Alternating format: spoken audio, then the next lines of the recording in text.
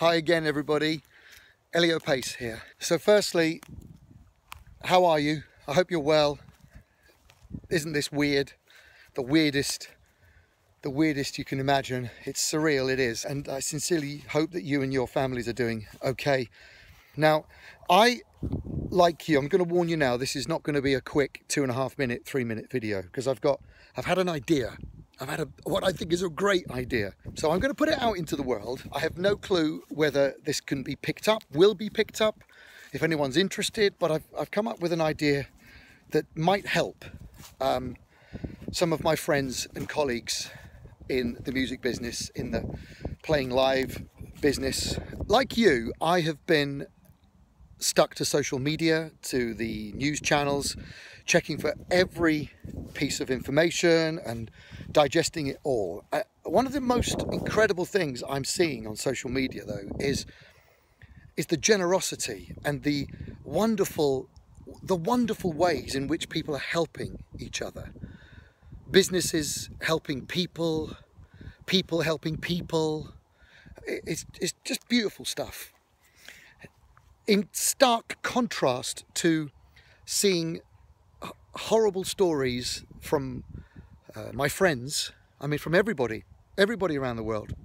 But personally, my close friends and my colleagues, people I love and admire and respect as artists, as musicians, singers, dancers, actors, all having their livelihoods completely wiped, wiped out from the diary. Nothing, nothing.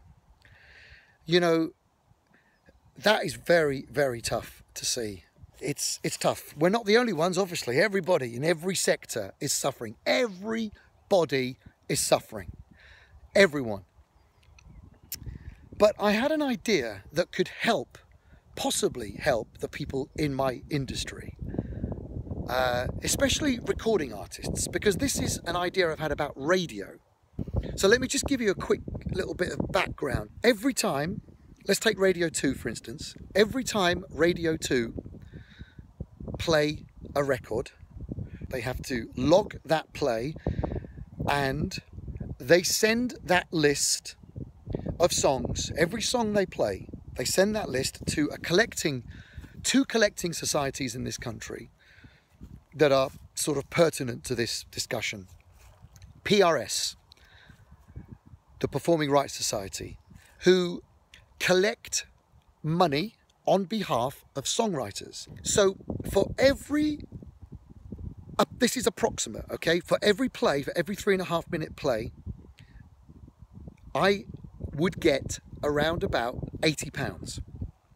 If you own the copyright in the song, if you've written the music and the lyrics, 100% copyright ownership of the music and lyrics, you will get about 80 pounds for every play. Um, you can imagine if you times that by the thousands of plays that the big artists get in this country. I mean, you put the radio on and you know you hear their song five times a day. That's on one station, and then you imagine that all around the country. You can imagine how, and quite rightly so, why Elton John and Billy Joel and Sting and Paul McCartney should be paid for their songs, for their music and lyrics. Quite right. I have no problem with that at all. That's absolutely fair and respect to those incredible artists. Um, Radio 1, for, for some reason, the equivalent is about 40 pounds. Uh, local radio is about 12 pounds for the same play, for the same amount of minutes. So Radio 2 pay the most to us uh, songwriters. There's also another company called PPL, now, they look after two other groups of people who get royalties from radio plays. The first group are basically the record company, whoever owns that recording. Forget who wrote it, who paid for that recording.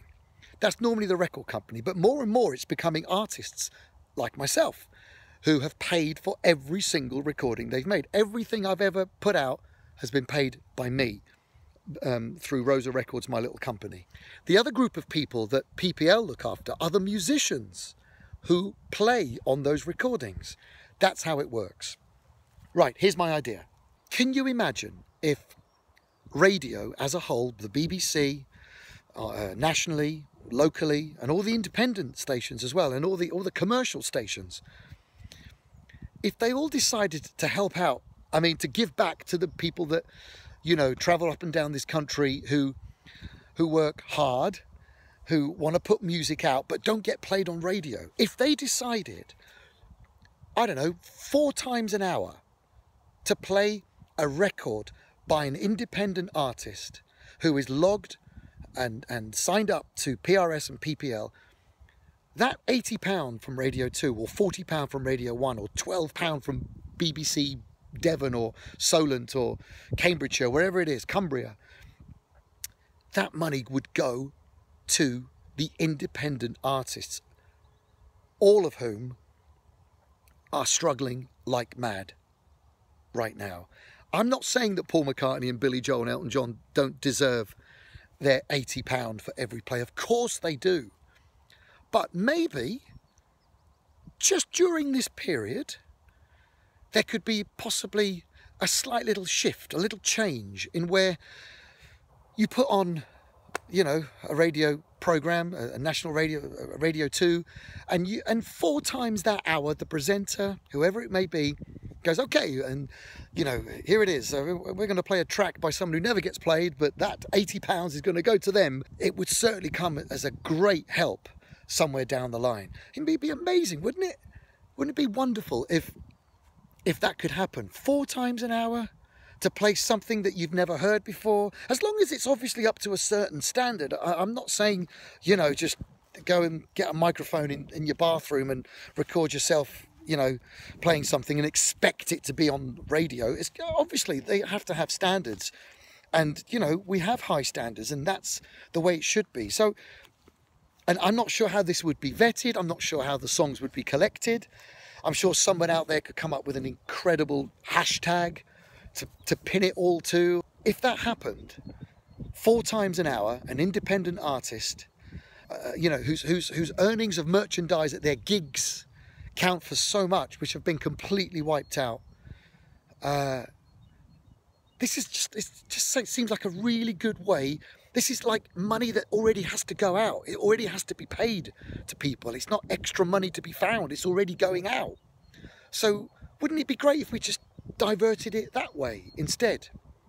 For a while, just for a time, and, and gave it to independent artists who make fantastic music that never gets played on the radio anywhere and yet it's really cool whether it's jazz or rock and roll blues funk hip hop whatever it is grunge r&b it doesn't matter and also this would also be great because you never know it could generate another 30 40 50 quid if people are selling their music via their website and you know when you tune in to your favorite uh, afternoon show as well as getting all the hits that you love to hear and all the stuff that you that makes you feel good. We all love all that. But interspersed with all that, a little bit of new music wouldn't do anybody any harm. In fact, quite the opposite. Anyway, that's my idea. I hope that you understand from where this is coming from. This is coming from a, a sincere place of trying to think of, of, a way, of a way of uh, alleviating the pressure and the strain and actually doing something that could, thinking forwards, thinking ahead, could actually be ultimately a really lovely thing. As I say, I'm putting it out there. Somebody could maybe run with it and make it better or come up with a better version of it, come up with a hashtag. Who knows?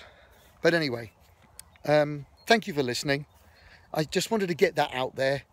I feel like I've got it off my chest and I've said it and I really really hope that uh, that it comes to fruition because I don't think it's a bad idea just to help your independent artists out there all of whom are not earning anything anything for the foreseeable future some royalties maybe could just help out at this time of need stay well stay fit and um, I will see you very, very soon.